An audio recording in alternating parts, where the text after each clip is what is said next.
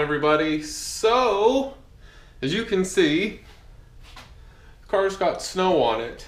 Yes, I'm filming this video on the same day as my really short, very boring snow video of my Toyota. But since it's the weekend and I do have a new project to do for this car, finally it came out of the blue last night. Uh, I met with a guy, Derek, off of Facebook, and he was trying to trade a seat, a non-reclining seat, and was wanting a reclinable one. And since I have my harness bar and I've never installed a passenger seat for this car, I've been wanting one, and it just seemed right. So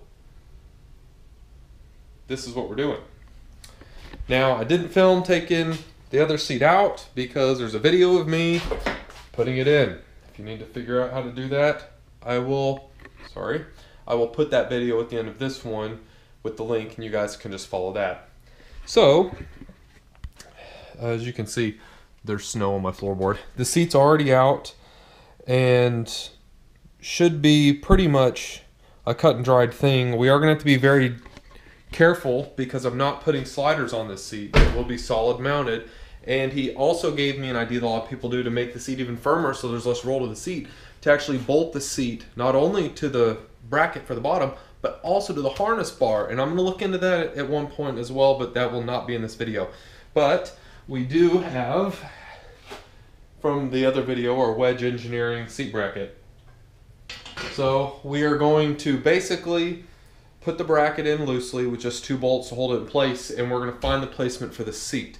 We're probably going to have to shim it from the bottom a little bit, I'm guessing. Yes.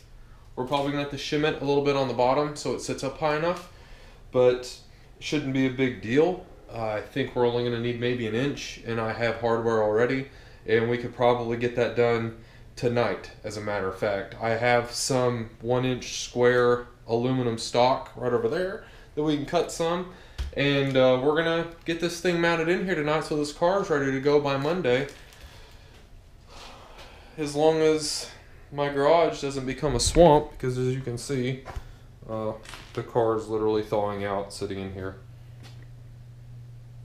It's it's doing a mess. So, okay, let me get this bracket set in there, and we'll start measuring to get our seat mounted. Okay, so here's where we're at. I have the bracket setting in and I only have the two front bolts on just so it won't move so I can set the seat on it and gauge height and all of that so let me see if how well we can do this here get the seat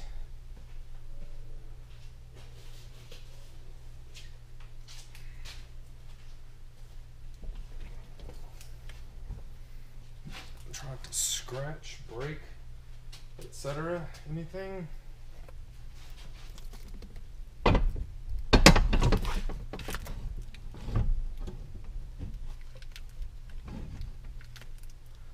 Yeah, Definitely gonna have to drill a couple more holes in the bracket it's gonna have to come forward a little bit. I can tell that already. That's about where I usually sit. And I have that front pad out so I can move the seat around, but see the camera will adjust to the light ever but it's not because why would it so that's the original hole that the others were where the sliders were mounted on but since we're solid mounting it I'm to have to drill forward a little bit here. That won't be that's better. That won't be too big of a deal. And there is going I looked under there. Yeah. There is one of the holes that will line up there for uh, for the front. So let me drop, let me get a couple bolts and drop it in the front and just see if that's about where we are. And I think I might have to put quarter inch, half inch spacer. Bring the seat up just a little bit. I can bring the back up a little bit more with the adjustment here, but I like the way the seat sits right now, and I don't want to change that too much. So let me get a couple bolts real, real quick here and drop them in the front and see if that's about how forward I need to be. I have two bolts just set in the front. I put one out on the back just so I can gauge my, good God, the lighting is just awful, and I apologize. There. Uh, I think that that's about where I want it to be. I set in it, and my driving position is a little bit further back than I usually am. I'm going to think about it a little bit. I might just drill, because I've already got to drill the the bracket down here. And I know that we still can't see it, and I'm starting to get annoyed. I'm already going to have to drill the bracket to mount the back bolts to the seat. And I know that already. What I'm debating now is. Oh, I just had an idea. Uh, what I'm debating now is do I want to move it another inch forward so it's exactly where I want it to be and just drill two more holes in the side mounts? And I, I'm just not sure yet. I'm to have to think about that a little bit more and uh, see if, if that's what I want to do. I might end up doing that, honestly, just because I want it to be perfect. But right now, I can get in and out of the car pretty easily. And I like that. But I don't know. I'm going to think about it a little bit more. I mean, if, if I end up wanting it to be moved a little bit, I could always move it. That won't be a big deal. Uh, but I've just noticed that. see if I can get the light here so we can see what I'm talking about. I'm to need another human being to start being a camera person for me. I'm noticing here that the actual seat mount is further in than the outside of this bracket. And what I'm going to do now that I'm looking at it is I am going to lift the seat an inch, but I'm going to, I have about two feet, two and a half feet of one inch aluminum square stock. And I think I'm just going to cut a piece that's this length and I will bolt the back here and I'll end up having to use two extra bolts, but I'll bolt the back here to hold the stock I'll bolt the side mount through the aluminum stock and then the front bolt will hold the side mount, the spacer down to the bracket. So that won't be too big of a deal. Other than that, I mean, I'm I'm pretty happy with the way this sits in here. I think it looks good. I like the way it looks. I it sits nice in there and the where the belt loops are, and I still have the plastic on the back.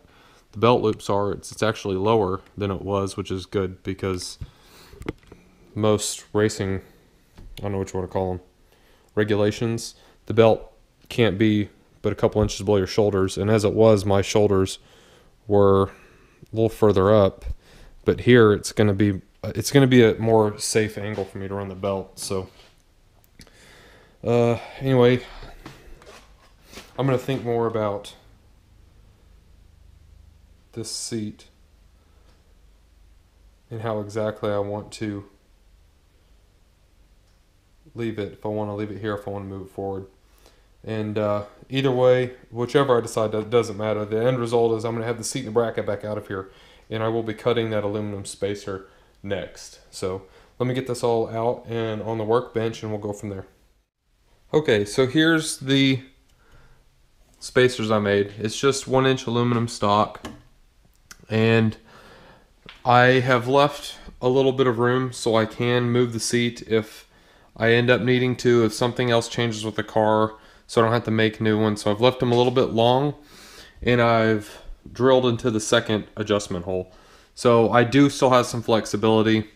And I went to Lowe's and got some bolts and I forgot to get washers. So I already know that I need flat and lock washers on there.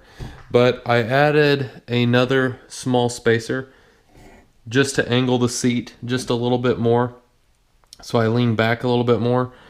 And that is pretty much all I did. It didn't take long. It took me longer to actually go to Lowe's and get the stock than it did to cut everything. And I angled them and filed them so they're smooth. There's no burrs. But that's all I really did that's I think this stick of aluminum was only like ten dollars or something, and the rest of it is still here. But uh, that's all I really did. It only took me six bolts, so two extra than what it initially had, and it's still lighter than it was. So let me get this thing set down in the car and run some bolts in it and see how it's going to be.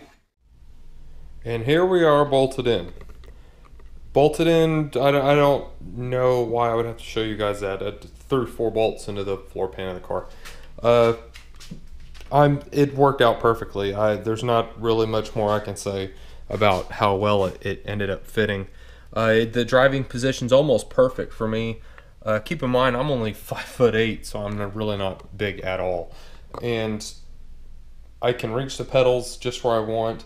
My only concern for a moment was because of my shifter, with it coming straight up and not leaning forward, my elbow goes into the nook here every time I shift gears, especially second.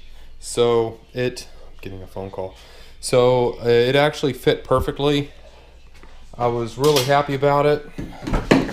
There's there's actually more room now in the back than there was. Forgive my dog's bed there on the on the seat, but there's actually some more room back here now. Like you can even see there's a good gap here because this seat is so much thinner than the other one. Uh, it's it fits a lot better. Like the entire seat just fits in the car better. So I, I couldn't be happier. This was a really simple video compared to the other one where I was putting the seat brackets on and fitting the car uh, from scratch with racing seats. But uh, I wanted to do this anyway because it is an update on this car and the things that are changing to it. And a lot of people go for a non-reclining fixed seat like this. And I just was very careful to measure and make sure that the seat was in the position I wanted it in before I actually started drilling holes. It fits perfectly. I'm, like I said, I'm just extremely thrilled with the fitment and the comfort of the seat. And it, there is some give when you twist your shoulders uh, up top, but like I said, uh, the guy I got the seat from, Derek, told me about actually mounting the seat to the harness bar and I'll go a couple races this season and see how it fits and how much it twists. And if it, I feel like it's twisting a little bit too much, I might end up going and doing that. But for now, it fits perfectly. I've already set it and buckled the belts. So I, I'm just, it worked perfectly. So if there's any questions, just drop them in the comments below. And uh, thanks for watching, everybody. Behind me, you'll see a car.